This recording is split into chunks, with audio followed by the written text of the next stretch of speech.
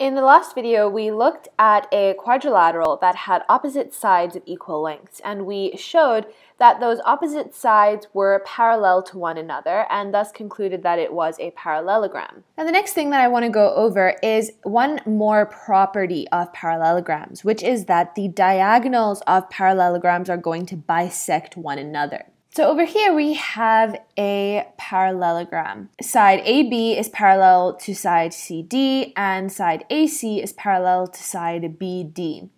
So what does it mean that the diagonals of a parallelogram would bisect one another? And how do we prove that? Well, firstly, what it means for the diagonals of a parallelogram to bisect one another is that if we were to draw in our two diagonals, this is our first diagonal, CB, that is our first diagonal, and our other diagonal that is going to join side A to D is going to look like that. So we have our two diagonals drawn in here. And if these diagonals were to bisect one another, what that would mean is that the line AD is going to split this diagonal CB into two equal parts and vice versa. So if they were bisecting one another, it means that one diagonal cuts the other diagonal into two equal sized pieces. And the other diagonal is likewise going to cut the other one into two equal pieces. So if these two diagonals bisected one another, that means the length of side A to this intersection point is equal to D to the intersection point, and that means that C to the intersection point is going to be equal to B to the intersection point. So if we were to call this I, let's just label this I as the intersection point. So what we're trying to prove when we are proving that the diagonals of a parallelogram bisect one another is that CI is going to be equal in length to BI, because that would mean that the diagonal AD cut CB into two equal parts. What we're also trying to show is that AI is equal in length to DI, and that would mean that the diagonal CB cut the diagonal AD into two equal parts. So that is what it means for diagonals to bisect one another, that it's going to cut them into two equal parts. And how can we go about proving that? Well, what we already know about this shape is that we have the opposite sides that are parallel to one another. And since we have parallel lines, we can think of these diagonals as transversals. We actually have two transversals here that are cutting through our parallel lines.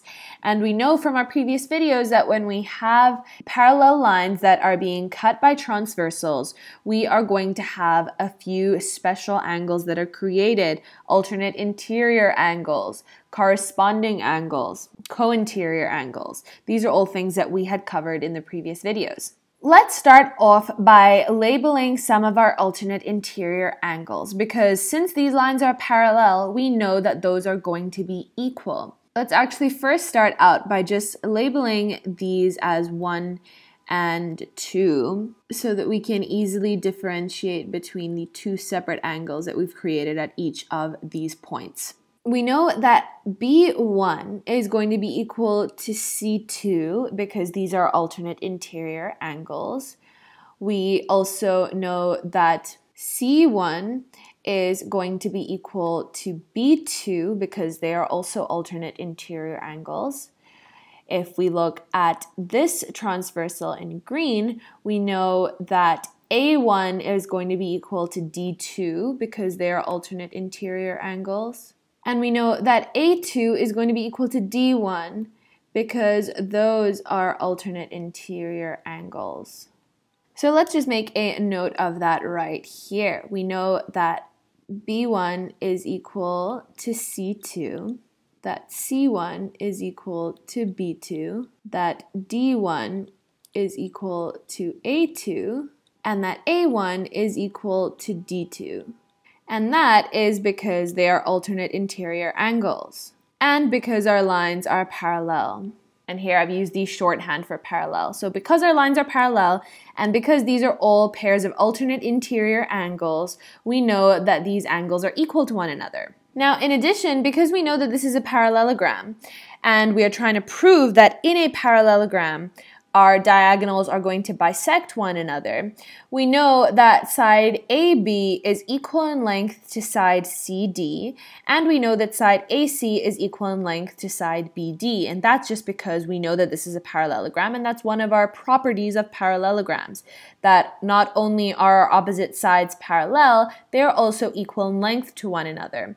So let's just put in that we know that this side length is equal to this side length, we know that this side length is going to be equal to this side length, and I apologize if it's getting a little bit messy here. The idea is just that this side is equal to this side, and this side is equal to this side. So now we have something very interesting about this shape. We can see that in essence, we've created four triangles. So we have these two triangles that are opposite one another that are going to have this light blue angle and a purple angle a light blue angle and a purple angle.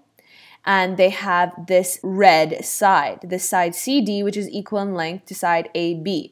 So both of them have a common side length, AB in this top triangle and CD in this bottom triangle, that is common in length.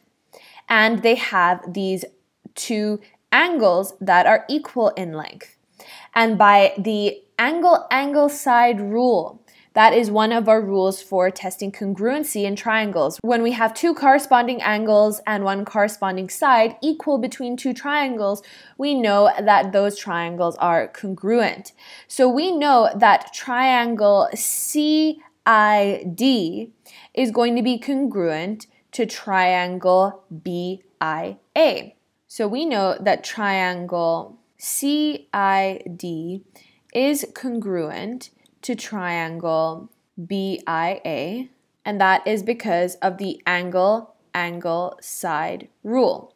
By that same logic, we know that triangle CIA is going to be congruent to triangle BID, again, because we can see that they are going to have two corresponding angles and one corresponding side equal. We have this orange angle and this dark blue angle, which is common between these two triangles. And we have this side AC, which is equal in length to side BD of the other triangle. So they have two angles and one side in common between them. So by the angle angle side rule, we know that these two triangles opposite one another are also congruent. So we know that triangle CIA is congruent to triangle BID, again, because of the angle angle side rule. If these triangles, these two pairs of triangles are congruent, we know that not only are they going to have all corresponding angles equal, they're also going to have all corresponding sides equal. And that means that this side, CI, the corresponding side for CI in our other triangle is going to be BI. It is going to be this side. So these sides are corresponding sides in our two congruent triangles, so we know they're going to be equal in length. If we were to flip this triangle 180 degrees, we're going to see that this side is going to overlap with this side. Then we also know that this side, DI, is going to be equal to side AI. Those are corresponding sides in our congruent triangles as well. And so what we have just proven with this is that the diagonal AD is going to split CB into two equal portions because we know that the side length CI is equal to the side length BI. These are going to be corresponding sides, so they have equal lengths. So we know that these two are equal in length. We also know that AI is equal in length to DI.